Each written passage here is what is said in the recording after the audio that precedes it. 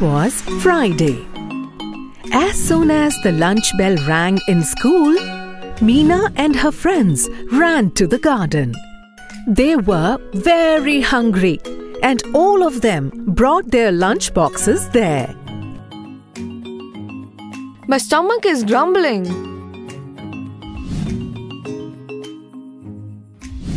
Is your stomach a sound box? I want to hear it too.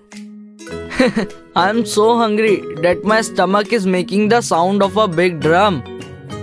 Then why are we sitting idle? Let's open our lunch boxes and start eating.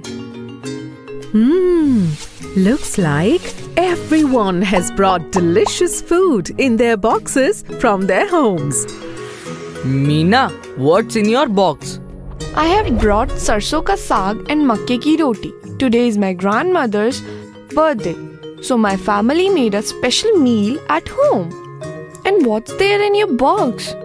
Today I have brought moong dal, rice and salad. And I got fish pakoras. And I have biryani today. During this time, the teacher also came to the garden for some work. Oh wow! The smell of different food from your boxes is great.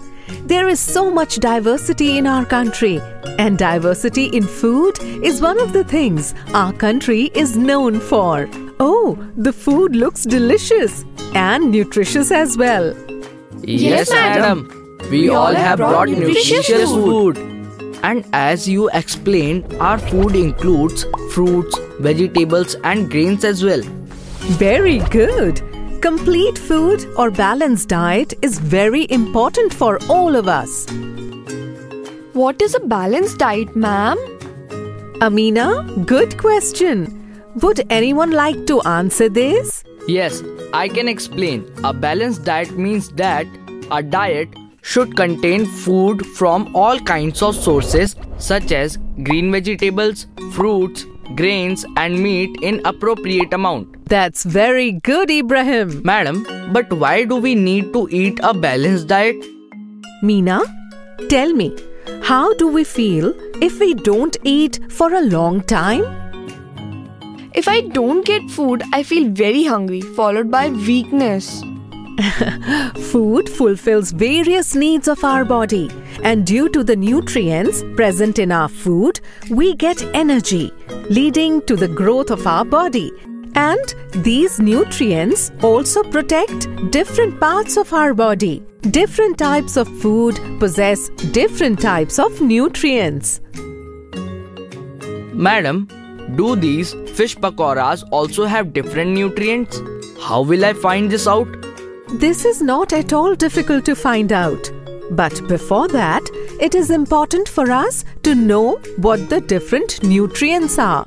Some of the important nutrients are carbohydrates, proteins, fats, vitamins, and some mineral salts. We get these in different types of foods. All children looked surprisingly at the teacher. This is very easy. Let's understand it this way. There are some types of foods that give us energy. All these foods contain high amount of carbohydrates. So, carbohydrates become a source of energy, such as wheat, rice, maize, sugarcane, millet, potato, etc. Fat rich foods are also a great source of energy.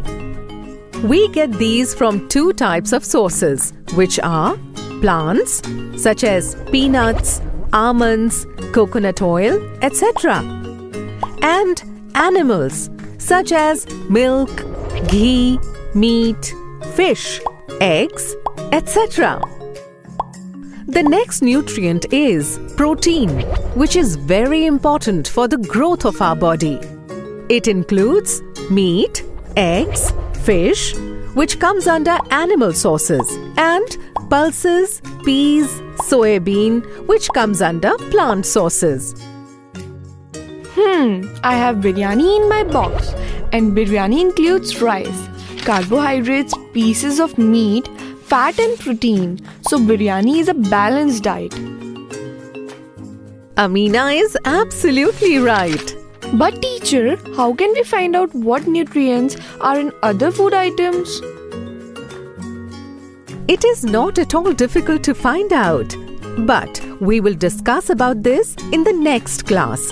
To find out more about nutrients, we will consult the science laboratory teacher and will also learn about vitamins and minerals.